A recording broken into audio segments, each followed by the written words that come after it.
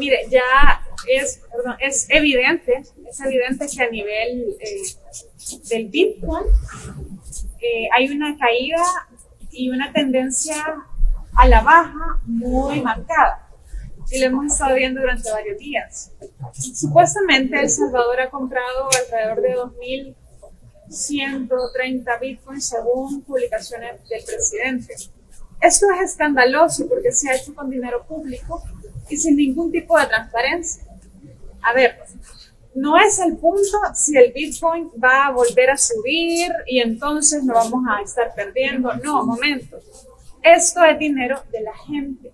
Es dinero que ronda ahorita alrededor de 50 millones que estaríamos virtualmente perdiendo o no percibiendo.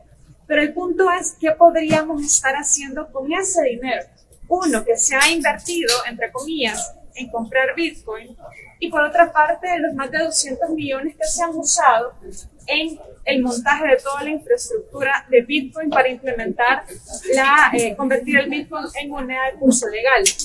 Es una apuesta que evidentemente ha sido fracasada como política económica porque no ha cambiado en nada la vida de la gente, no ha generado más oportunidades, no está atacando el fundamental problema económico que vivimos en este momento, que es el alto costo de la vida ese dinero podría estar sirviendo en ese momento para que el Estado pueda dar algún tipo de subsidio o pueda apoyar a las familias más vulnerables que están sufriendo altos costos de los alimentos.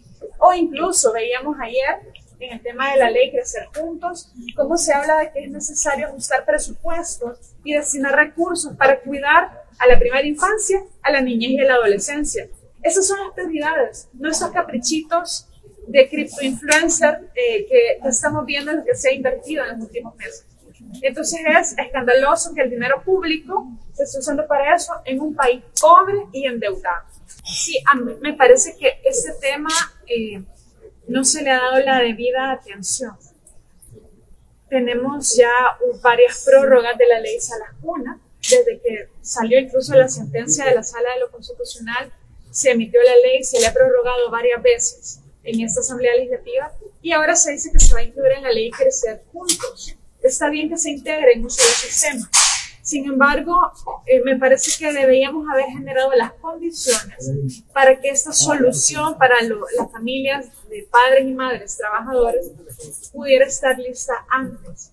Yo invito a que veamos cómo se ha solventado esta situación en otros países donde el tema se ha implementado exitosamente necesitamos ser muy creativos y necesitamos ser muy responsables también para dar una solución que pueda adaptarse a las diferentes situaciones familiares, a las diferentes necesidades y que asumamos la responsabilidad el Estado, también la empresa privada y también, pues, hasta cierta parte los trabajadores, pero en la proporción de las capacidades de cada quien.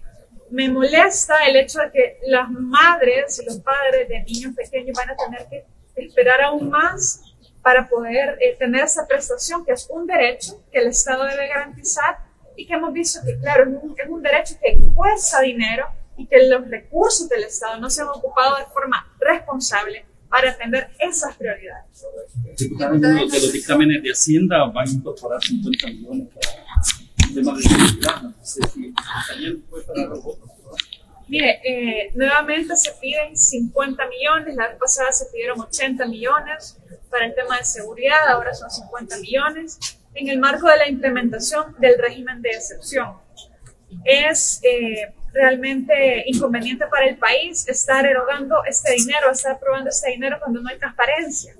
Cuando bien, vemos que se aprueban leyes para compras públicas, de temas de construcción de cárceles, para otro tipo de, de, compras en temas de seguridad como armas, etcétera, y se aprueba el régimen de excepción con, con, un compañero, con un decreto gemelito que habla de quitar todas las regulaciones de, de licitaciones para hacer ese tipo de, de adquisiciones públicas. Entonces, estar aprobando más recursos, pero con menos transparencia, para un régimen de excepción que además está violentando gravemente derechos humanos, la legalidad, y está siendo señalado a nivel internacional, me parece que sería incoherente. ¿Cuáles van a ser los requisitos? ¿Cuáles van a ser los procesos para incorporar estas nuevas, si es que se van a incorporar nuevas eh, elementos a las fuerzas de seguridad pública. Pero cuando hablamos de que no hay transparencia de cómo se hacen compras, de cómo se hacen construcciones, entonces el sistema en sí está viciado en el sentido que favorece a quienes están haciendo negocios con ese recurso. Y la gente no, eh, no quiere que esa historia se repita. Si seguimos con ese patrón, si seguimos aprobando leyes que dan más recursos, pero quitan transparencia, nos van a hacer la misma que nos hicieron gobiernos anteriores con eh, las situaciones de corrupción que ya conocemos y nos van a hacer la misma que también nos hicieron durante la emergencia sanitaria que ya todos conocemos las, irregularidades que sucedieron. Diputados, los diputados de Nuevas Ideas anunciaron que para los comicios del 2024 se espera que se haga a través de la modalidad del voto eh, electrónico sin internet. ¿Qué piensa usted sobre esa modalidad?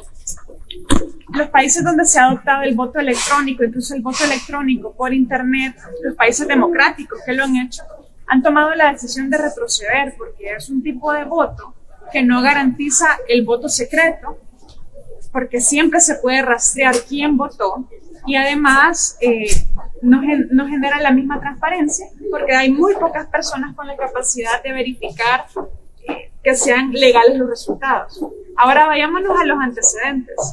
Si el partido oficial en sus propias elecciones internas, en sus primarias, digamos, tuvieron situaciones de compra de chips de irregularidades con el voto electrónico de sus mismos afiliados y quienes quedaron fuera de esos escaños, no me lo van a dejar, no me van a dejar mentir, ¿cómo vamos a confiar ese mismo esquema eh, ahora que tienen el control prácticamente del Estado y del Tribunal Supremo Electoral?